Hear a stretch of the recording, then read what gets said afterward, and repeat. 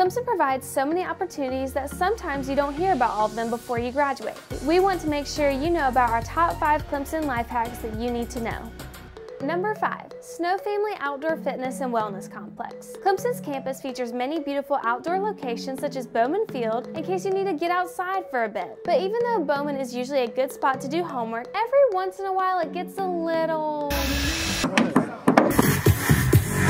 Let's call it spirited which is cool, but not really a great place to cram for a bio exam. So the outdoor study spot I'd suggest at Clemson is the Snow Family Outdoor Fitness and Wellness Complex. A lakefront recreation area and the Andy Quattlebaum Outdoor Education Center features an outdoor patio and balcony overlooking Lake Hartwell that's perfect for working on group projects, reading assignments, or finishing up papers. Plus, if you're looking for a more active outdoor space, the Snow Family Complex has plenty of room for open rec. So really the choice to check out the Snow no family complex is anything but complex, except the complex itself, which is also complex.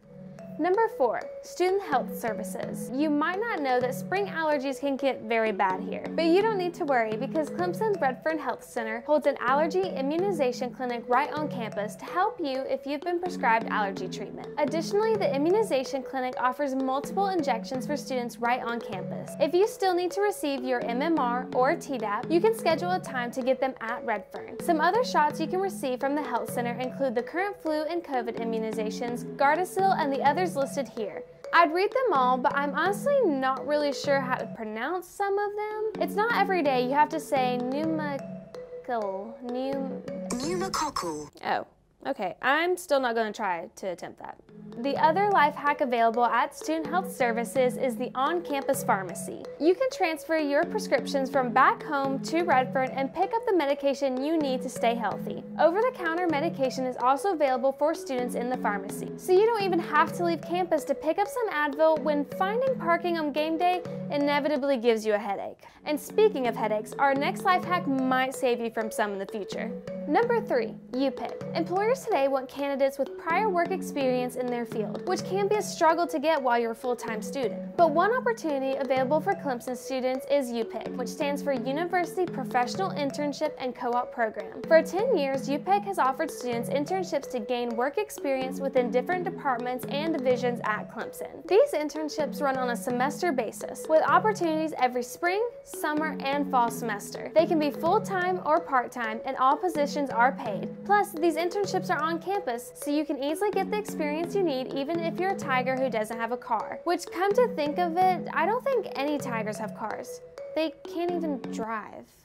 Number two, involvement help. To keep the process of connecting to campus from becoming overwhelming, Clemson Center for Student Leadership and Engagement, or CSLE, offers multiple opportunities to help students find student organizations throughout the semester. During the first week of classes in the spring and fall semesters, you can attend Tiger Prowl, student organizations table to share what makes their club unique to interested students. But if you're not big on crowds or simply miss that event, another option is Tiger Quest, a website where you can search through all the organizations set up at Clemson. You can also view a calendar of events to find out what's happening on Clemson's campus. And if you don't know what to even search for, CSLE also offers an online quiz fittingly called Place Finder. And even though it's a quiz, you don't need to study for it.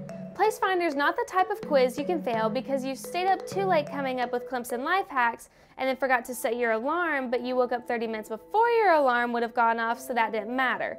But what did matter was that you were cooking eggs as you crammed for the quiz last minute, and then the eggs caught on fire, so you ran and grabbed the fire extinguisher to put it out, and then missed the eggs and hit your notes instead which isn't something that happened to me. It's just a, it's just a general normal example. Place Finder will ask you how long you've been at Clemson, whether you're a transfer student, and what college you are studying in. Then you can rank what your most important personal values are, what you're looking for most in your extracurriculars, and what you're most concerned about at Clemson. And if you want a little bit more personal guidance, you can set up an appointment with CSLE to go over your results and get some suggestions from a counselor on where to go to find your Clemson family. But if you need counsel on finding where you belong after Clemson, you should check out our number one Clemson life hack. Number one, CCPD. The Center for Career and Professional Development not only runs the UPIC program, but they also provide many resources to help any student on campus prepare for their future career. One opportunity is resume critiques. Career counselors give suggestions on how to structure your resume to increase your chances for success during your job search. Some of their tips include what order to put your work experience,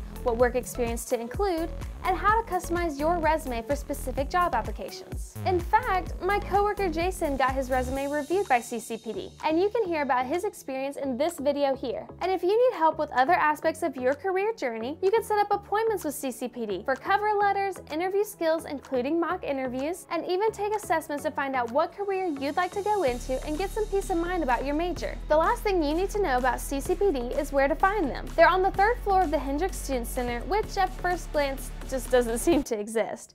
But if you go up to the second floor, then to this door back here, you'll find the stairwell up to the third floor. Or you could just like take the elevator, that's probably the easiest way. Now Clemson students, alumni, I need your help. Comment your favorite Clemson life hack you discovered while at Clemson so that current and incoming students will learn from your experience. And if you learned something while watching our top 5 Clemson life hacks, subscribe to this channel for more content for Clemson students. Go Tigers!